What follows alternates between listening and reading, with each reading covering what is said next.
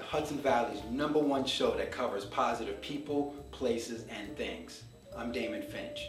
I want to introduce a, a, wonderful lady here in the Hudson Valley who's been making a difference for many people's lives. She's been touching people's lives musically, mentally, physically, spiritually, and so much more. Without further ado, Miss Karla Major. How are you? Hi. I'm good. How are you? Great, great. Please take a seat. Thank you. Welcome to the path. Thank you very much for having me on the show. I appreciate it more than I can tell you. Oh, let me tell you, I'm so excited. Uh, I've heard some wonderful things about you. I've heard some wonderful things about your music, your potential, what you've been doing for many, many years. And, and you believed it? I'm dying to know more. uh, there, there, has to be some truth in the pudding. Oh, yeah. It's got to be. Great. It's got to be. So, so tell me, who, who are you? Who, who is Karla Major? Well, Karla Major started singing with her sister Elaine uh, in the actually we were little kids. We had a British father who used to dress us up, have us dress us up. And every time there was dinner parties or whatever, we'd, he'd have, bring us out and we'd have to sing little duets in harmony. So my sister and I have been singing. Our mom taught us how to harmonize. She bought us stringed instruments, a ukulele, then we went to guitar. And uh, yeah, we, we were little. so we learned, she taught us to harmonize. She also did community theater, which is why my sister Elaine has gotten involved in starting with the players.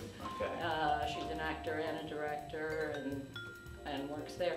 But it evolved all through our life. Uh, in the 60s, we did uh, all the colleges uh, hootenannies, folk stuff, but we, we, we took a, a sideline there. We, we loved Bessie Griffin and the Gospel Pearls. We loved the Staples Singers. We loved Leadbelly. Uh, we, we did some of the uh, Chad Mitchell Trio songs. Uh, it was the Mitchell Trio when John Denver okay. joined them. And uh, then we moved on from there into the 70s. And uh, um, my influences really, personally, uh, I, I hadn't been, I hadn't written songs, but uh, my sister wrote prolifically when she was younger, and we had early recorded other people's songs as demos. And what type of music? Rock and roll tour. Well, they were actually, you know, some of these songwriters, it's a poem and they put it to words. Okay. And, uh, so I wouldn't exactly, you know, say it would be a big hit with a bullet. But you know that is the basis. that's the basis of rap music. That's poetry to, to music. You know. Well, that's true. You know, you think about folk music, the blues. You know, you. you well, you, now you're talking you know, language. You know, Bob Denver, as you talked about it. You know, and I'm a big fan of Dylan. Just you and me. Oh.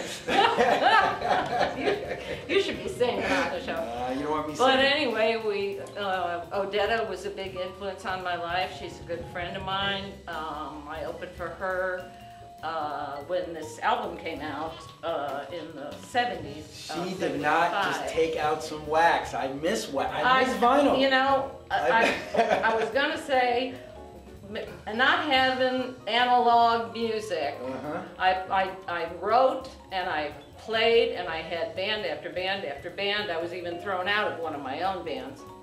So you this, never. This is you, isn't never, it? Yes, it is. Oh my and, God! Uh, I recorded that in Nashville. You They're well. all original songs. Thank you. um, must be tell, us, tell, tell, us about this album. Well, uh, I wrote all the songs, and um, uh, the producer Bob Johnson. Uh, I auditioned for him, and he scared me to death. What he did was he was across the room and he said, okay, go ahead and start. And then he came and sat right on the floor in front of me like this. And I'm playing and he's staring up at me like this. And I'm going, this guy, wow. you know, whack him. But he loved it and Led Zeppelin funded it through their label Swan Song onto Atlantic.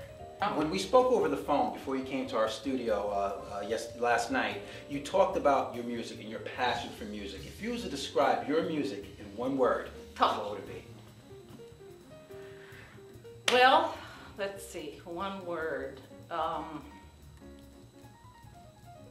uh, I would say, I would say soul. Soul, all right. This has got rhythm then. I would I soul, that's great. A little bit of soul, I'd that have to say great. soul. You yeah. know, uh, what I'd like to do, uh, once again, here in The Path, we focus on positive people, places, and things in the Hudson Valley. Mm -hmm. Would you like to take an opportunity to perform for us? Oh yeah, sure, I'd love to. Okay, great, let's see what you got. Okay, thanks. Okay.